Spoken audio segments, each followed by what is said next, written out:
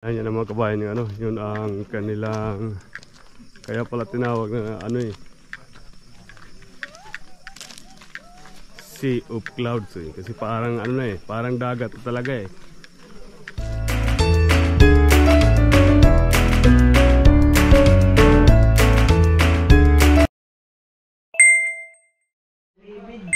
Welcome back again to our channel mga kabayan.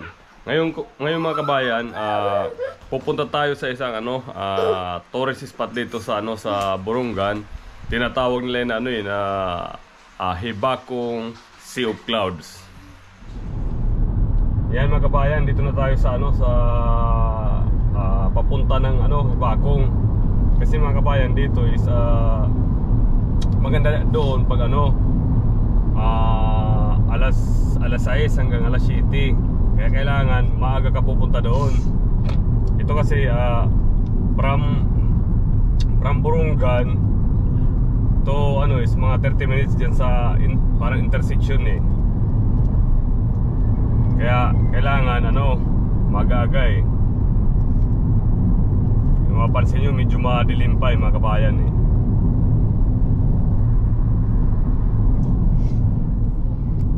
Yan dito mga kabayan yung ano yung ah, ang ang kakan kakanan ka dito sa ano sa bago dumating ng ah, Kamada Kamada Bridge.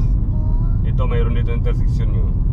Ito yung ano dito ka dito ka ngayon papasok dito. Dito kalsada na to ngayon. Ito. Ito sa, sabi nila mga tw- 25 minutes pa daw to dito eh simula dito eh. Kasi dito ngayon mga kabayan ano pa lang ako eh first time namin makarating dito eh. Kasi alam parang bago pa lang tong ano eh. Bagong kinalsadahan pa lang to eh. Kaya ganun. Kasi dati ano yan mga kabayan papunta dito mahirap pasukin yung dati dahil nga ano ah inaano yun yung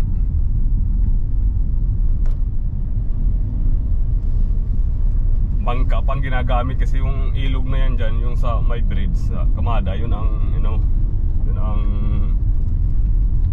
papunta dito.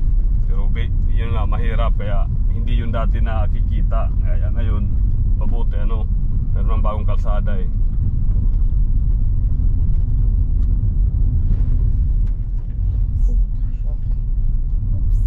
Yan mga bayan talaga ano eh. Walang walang gaanong mga bahay. Talagang medyo malayo sa ano. Talagang ano pa dito eh, magubat pa eh. Halatang ano eh. Akala ko nga dati walang lugar dito na ano dito na to eh. Ito, ganito yung kanon lang ano eh, kalsada muna eh. Napaka-tahimik pa mga kabayan eh.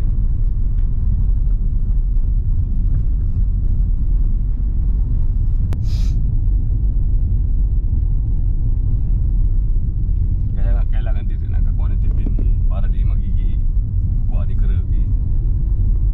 Di ba naman talaga ito ang kakuha ng pera?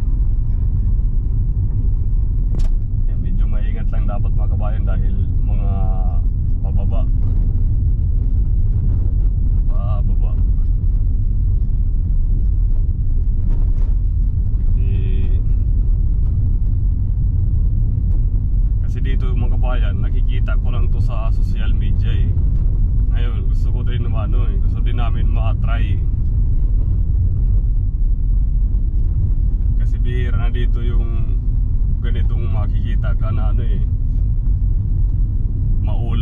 tapos malamig dito mga kabayan. Parang bagyo na rin to mga kabayan eh. Pero biruin mo di mo na kailangan pumunta ng bagyo. Meron pala dito sa Samar eh. Ito mga kabayan ang, ang exact ano dito address is uh, Burungan Eastern Samar. Sa pero naman ito barangay ito eh. Nasakop ng Burungan kaya ito ka anuhan eh ka Newgan mga Kaya pala ba? May maliit. Mayroon Mayroon din dito na mga kabayan kasi ang ang ang ano dito talaga ng pinagkakitaan ng tao is ano, kopras mga kabayan kaya maraming ano, mayroon din pala mga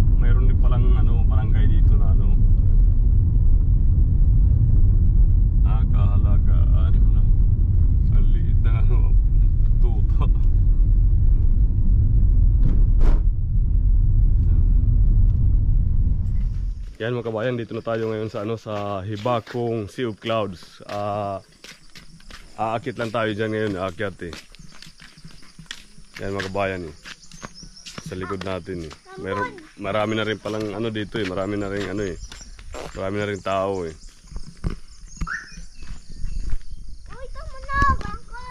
Yan yung ano.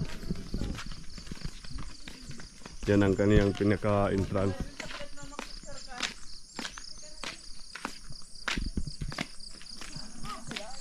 Oh.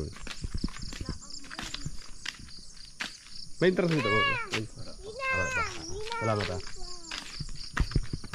Yan. So ang ganda pala eh. Ano eh. Ah. simple lang eh. Tingnan natin, pasukin natin para malaman kung anong nasa loob eh. Hmm. Yan talagang natural natural lang kanilang ano eh, kanilang ah pader eh. Pinapaganda ko kasi pa to ng ano mga kabayan, pinapaganda pa to ng ano ah, municipal na ano eh, ng Borongan eh.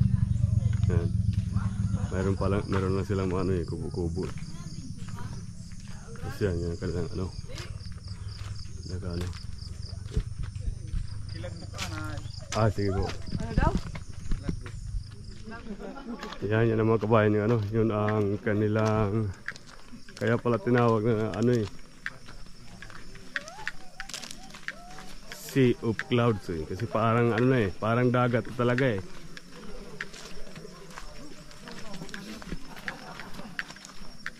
Oh, kasi mga kabayan yung kanilang ano eh, kanilang ah, pader nga eh. Mga kahoy. Kahoy yung ano eh. Kahoy ginamit lang eh. Maganda, simple lang. Yan.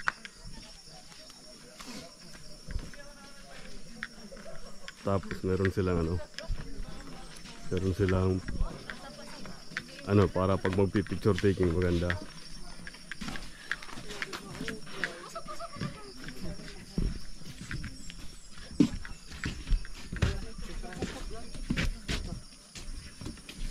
Yan ang tinatawag na Sea of Clouds. Hmm. Nakikita talaga nin, nakikita, makikita mo talaga yung ano, makikita mo yung parang dagat na eh. Babe. Bot bot. Rap. Uy. Tama-tama pa naman kasi hindi umuulan. Eh. Hintay natin dito, papi. Yun mga kabayan, ano, ah, nakita din natin yung ano, yung ah, Hibakong Sea of Clouds. Maganda rin mga kabayan eh. Talagang marami na rin yan, ano eh, pumupunta dito eh. Meron mga dumadayo na yan na na na galing sa ibang bansa, galing Tacloban, ganun.